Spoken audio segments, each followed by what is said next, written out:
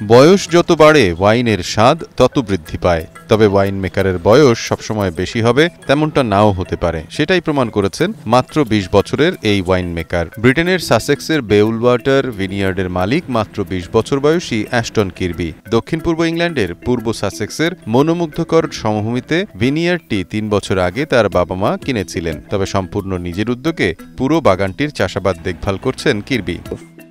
I worked it আমার পরিবার বেউল ওয়াটারে বসতি গড়েছে কারণ এটি সুন্দর। তারা শহর থেকে দূরে থাকতে চেয়েছিল। তারা কিছুটা জমি চেয়েছিল এবং তারা শান্তিতে থাকতে চেয়েছিল। এখানে একটি আঙুরের বাগান ছিল তবে এটি ধ্বংস হয়ে গিয়েছিল। আমি বিশ্ববিদ্যালয়ে যাওয়ার বিষয়ে নিশ্চিত ছিলাম না। আমার মনে হয় যে অনেক তরুণ সত্যি এটিতে আটকে আছে। এটি সবার জন্য সমাধান নয় এবং আমি সত্যি চিন্তিত ছিলাম এই সত্যি কথা বলতে। Bumped into me. নিজে নিজেই ওয়াইন তৈরি শিখেছেন কিরবি। ব্রিটেনের ওয়াইন চাষি এবং উৎপাদকদের সংস্থা ওয়াইন জিবি থেকে এই বছর সোনার পুরস্কারও জিতেছেন তিনি। ওয়াইন মেকিং দক্ষতার জন্য স্বীকৃতি পেয়ে দারুণ খুশি কিরবি। আমাদের কিউভি সোনা জিতেছে এবং আমি এটা নিয়ে বেশ খুশি।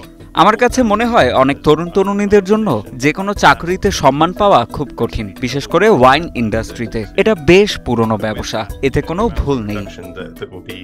গত বছর রিডিং বিশ্ববিদ্যালয়ের গবেষণায় দু হাজার পঞ্চাশ সালের মধ্যে ব্রিটেনের ভিটিকালচার অঞ্চলে জলবায়ু পরিবর্তনের প্রভাব তুলে ধরা হয়েছে এটি পূর্বাভাস দিয়েছে যে দক্ষিণ পূর্ব ইংল্যান্ডে আগের মতো অনুকূল অঞ্চলে তাপমাত্রা এবং বৃষ্টিপাতের ফলে সার্নে আঙ্গুর ভালো মানের ওয়াইন তৈরি করার জন্য যথেষ্ট পাকা হবে অ্যাস্টন কির্বি বলেন.